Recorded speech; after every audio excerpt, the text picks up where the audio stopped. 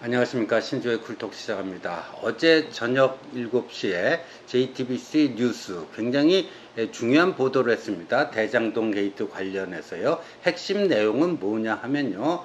아, 유동규가 아, 천화동인 1호 실소유주가 아니냐 하는 의혹이 오래전부터 불거져 왔는데 유동규는 거기에 대해서 잡아뗐지요. 나는 천화동인의 실소유주가 아니다. 이렇게 잡아떼 왔는데 그게 아니고 유동규 본인 입으로 천화동인 1호의 실소유주는 나다. 그 천화동인 1호는 내 거야. 이런 말을 수차례에 걸쳐서 했다라고 하는 결정적인 증거물이 나왔다라고 한, 한 겁니다. 그 증거물은 정민용 변호사가 제출한 20장짜리 진술서, 자술서입니다. 근데 정민용 변호사는 누구냐 하면요. 성남도시개발공사에서 유동규와 원팀이 돼가지고 이 대장동 설계부터 시작해갖고 중요한 의사결정 그 과정을 또 그 전략을 짠 사람입니다. 유동규하고는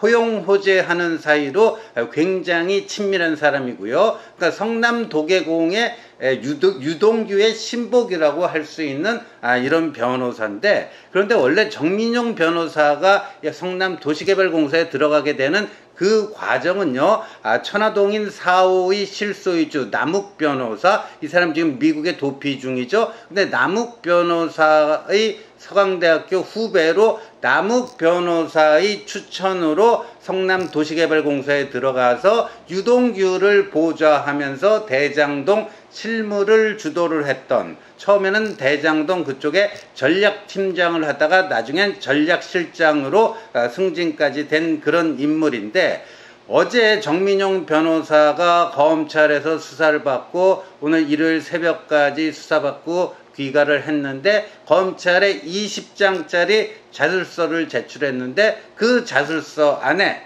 유동규가 천화동이 이론은 내 거야 수차례 반복하는 아, 그런 대목이 나온다고 어제 JTBC가 보도를 했습니다. 굉장히 대장동 게이트와 관련해서 아, 중대한 아, 그 증거 가치가 있는 아, 그런 거다 이렇게 보여집니다. 그러니까 정영학 회계사의 그 녹취록 못지않게 이것도 굉장히 중요한 자료가 되지 않을까 보여지는데 이렇게 얘기를 했다라고 합니다. 작년 8월에 작년 8월에는 유동규가 경기관광공사 사장이던 시절인데 그때 유동규가 이 정민용 어, 변호사에게 비료 사업을 함께 하자 이런 제안을 했다라는 거예요.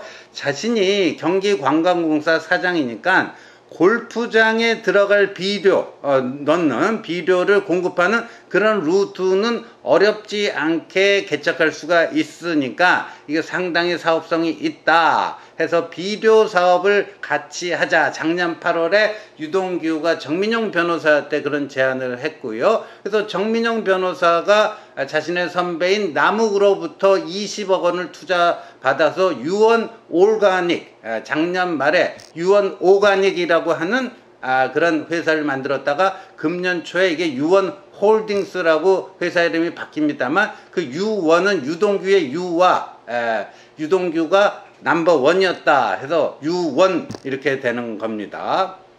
그런데 그 유원 홀딩스가 천화동인 1호의 그 수익금을 전달받기 위해서 유동규가 전달받기 위해서 만들어 놓은 통로가 아니냐 하는 이제 이런 또 의혹 제기가 있었던 것이죠. 그런데 이건 작년 8월 상황이고요. 근데 작년 10월에 작년 10월에 유동규가 또 정민용 변호사한테 어떤 요구를 하냐 하면요. 에, 자신이 이혼을 해야 되는데 전처에게 그래서 5억 원을 보내줘야 된다. 아, 그런데 자신이 공직자이고 재산 신고를 해야 되니까 경기관광공사 사장이니까 전체에게 보내줄 5억 원을 네가 어디서 구워서 어, 송금해 줄 수 있겠느냐 그런 부탁을 한 가지 했고요.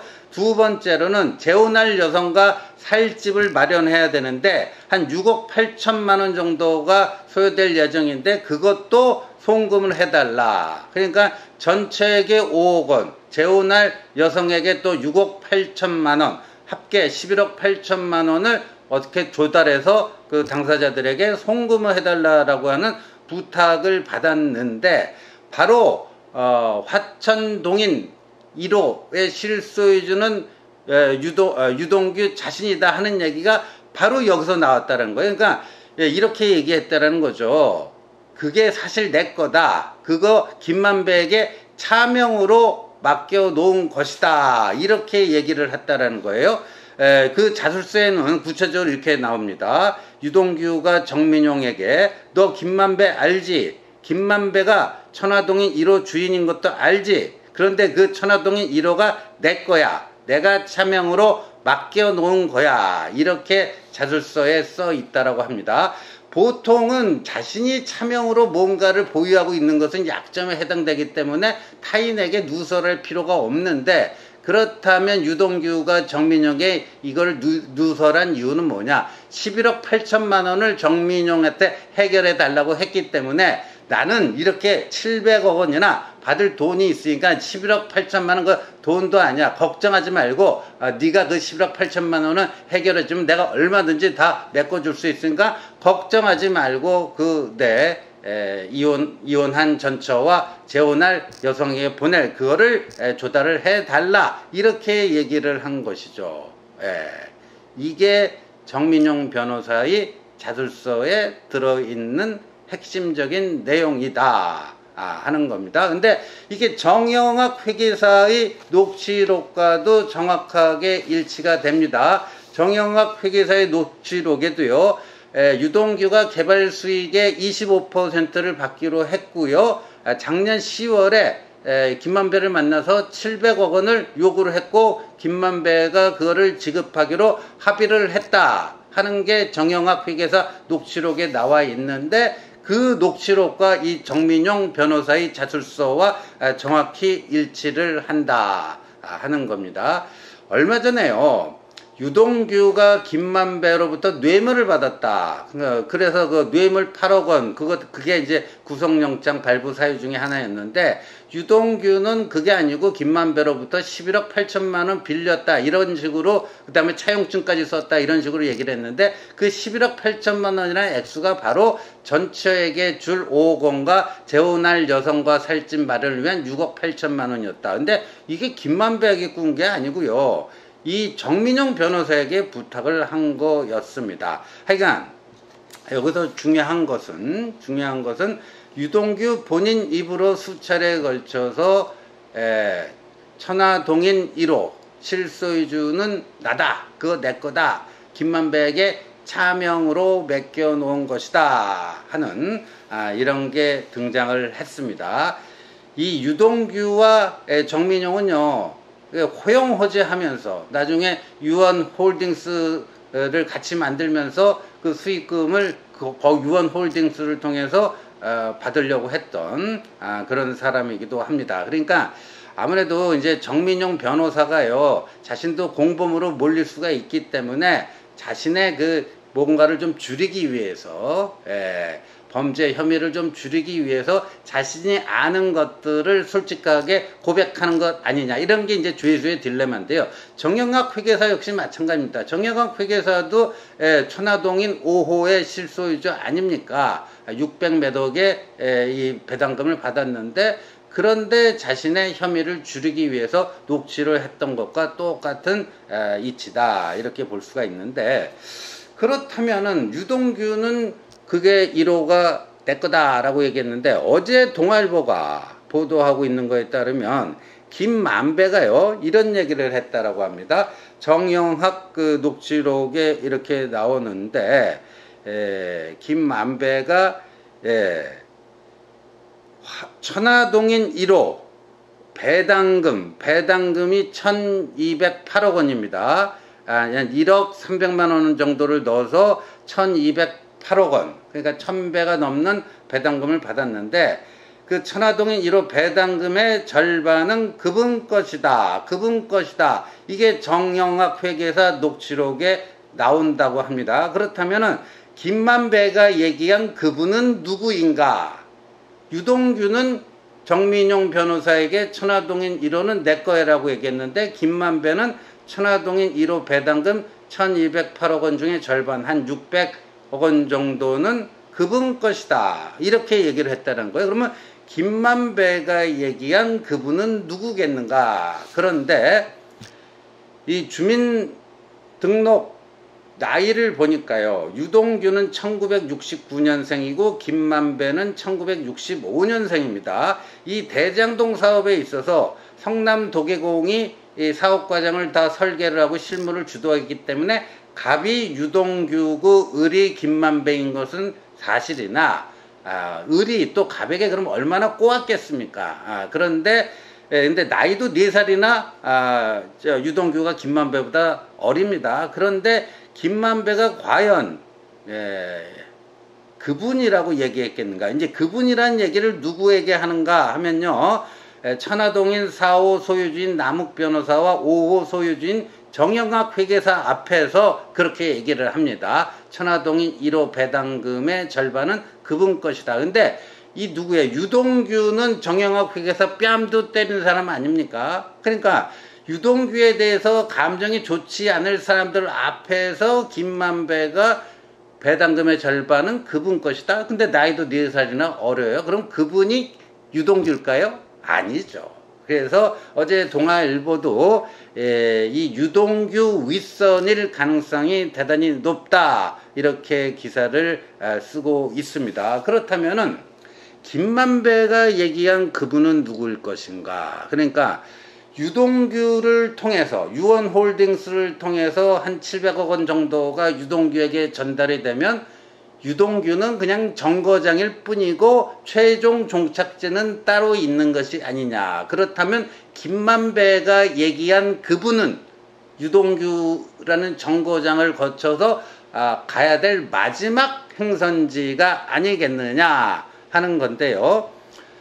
예, 그래서 김만배가 그분이라고 얘기할 수 있는 것은 이 대장동 게이트에 등장하는 인물 중에서는 딱 두 사람 말고는 없다 하는 건데요.